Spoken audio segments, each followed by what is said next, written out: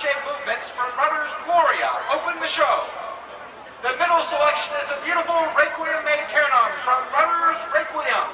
This number features mellophone soloist Lori Greger and our visual ensemble. The show closes with Chorale and Shaker Dance by John Zdechlik. This well-known piece written for concert band uses two themes. An original one stated first by the brass choir and the familiar shaker hymn, Simple Gifts, stated by the woodwind choir. Watch and listen as these two themes are juxtaposed and the distant conflict resolves both musically and visually to an exciting conclusion. We hope that you find these selections entertaining, even as we provide an educational experience for our students.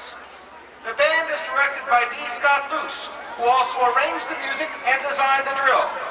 He is assisted by William Greger. Deb instructs the visual ensemble. Percussion arrangements and instruction are by Dennis Martley, with assistance from Steve Goss and Kevin Foreman. Mitch Adams is our effects specialist.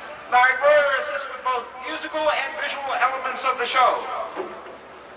Drum majors Tracy Gilpin and Matt Shaw lead the band on the field.